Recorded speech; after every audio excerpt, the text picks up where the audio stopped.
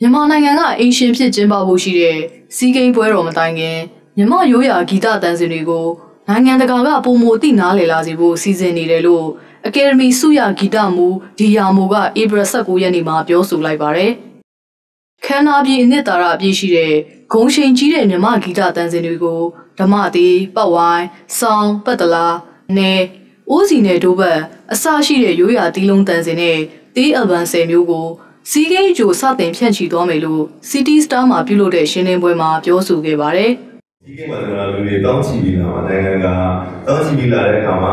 ခုနကကိုကြီးပြောလို့ပဲပေါ့နော်စီးကိန်းကိုလာကြည့်တဲ့လူလည်းရှိမယ်တခြားနိုင်ငံကိုလာပြီးတော့လေ့လာမယ့်လူလည်းရှိတယ်တခြားဥရောပဘက်ကလူတွေလည်းရှိမယ်နိုင်ငံတိတိကျရှိမှာပေါ့ဒီမှာကျွန်တော်တို့လက်တကမ်းမှာပေါ့နော်ဒီသူတို့မြန်မာဆိုရင်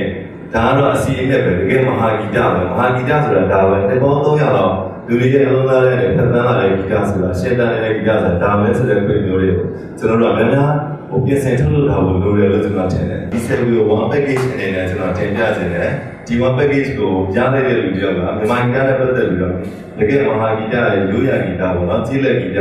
နတ်ချင်းဒါတွေနဲ့ပတ်သက်ပြီးတော့အထိုက်အလျောက်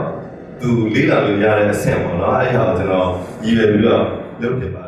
တယ် မြန်မာတန်စင်ဂီတတွေကိုဂျပန်အတန်ဖန်အင်ဂျင်နီယာတွေနဲ့စိတ်ဝင်စားထုတ်လုပ်နေပြီးပြည်ပခီးသည်တွေကြားစီးဝင်နေတဲ့ရောနှောနေတဲ့ဂီတတွေရှိတာကြောင့်ရိုးရာအတန်စင်ကိုထိမ့်သိမ်းလိုတဲ့စန္ဒနဲ့ဒီနှစ်စက်တင်ဘာမတိုင်ခင်အင်းလေးပကံမန္တလေးစတဲ့နိုင်ငံခြားသားဧည့်သည်တွေရှိမဲ့ဒေသတွေမှာဖြန့်ချီသွားမယ်လို့ဆိုပါတယ်။